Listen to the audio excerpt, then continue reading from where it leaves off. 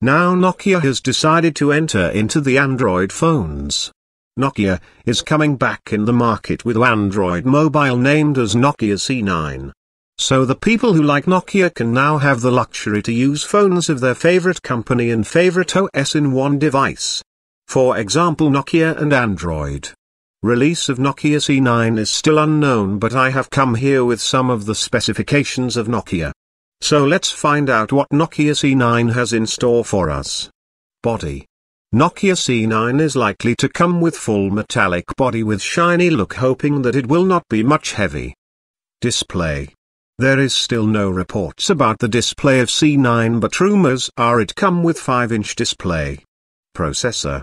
Nokia C9 will be powered with Snapdragon 820 64-bit quad-core processor. Camera.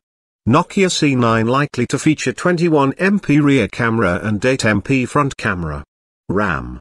Nokia C9 will come with 4GB RAM which means device will run smoothly and fastly without any lag in its performance. Internal storage. Nokia C9 will be available in different variants with 32GB, 64GB, 128GB internal storage. Battery. Rumors are that Nokia C9 will be packed with non-removable 4000 mAh powerful battery.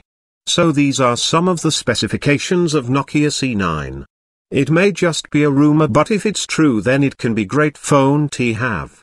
So now just wait for the official announcement and see what Nokia has in store for us.